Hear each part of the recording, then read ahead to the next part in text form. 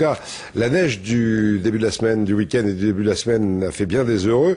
Par exemple, dans une station de la Loire qui avait fermé il y a 15 jours, avec la neige, on a rappelé tout le monde, on a rouvert les pistes à Chalmazel, Gaël Charnay, de l'Écluse.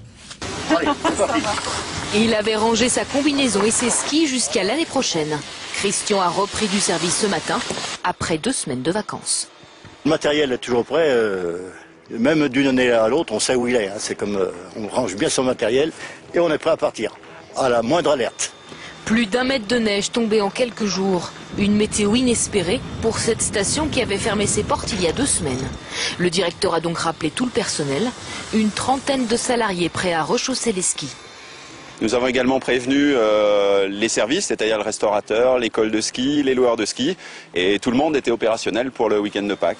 Eux aussi ont fait leur grand retour. Les skieurs venus de Lyon, de Saint-Étienne ou des environs, peu nombreux mais ravis de retrouver un domaine entièrement ouvert.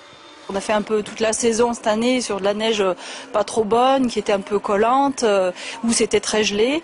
Donc euh, là, je pense qu'on aura une bonne journée aujourd'hui. C'est vrai que ça fait deux hivers, on n'est pas trop gâté. donc là, bon, on est venu en profiter aujourd'hui. Lui aussi avait rangé les skis. Retour des clients ce matin dans la boutique d'Alain, fermée depuis quelques jours. J'étais en train de faire l'entretien du matériel. Et puis, ben voilà, la Dame Nature nous a gâtés. Pour finir la saison, ben c'est super. La station sera donc ouverte au moins jusqu'à dimanche et peut-être davantage si le froid persiste.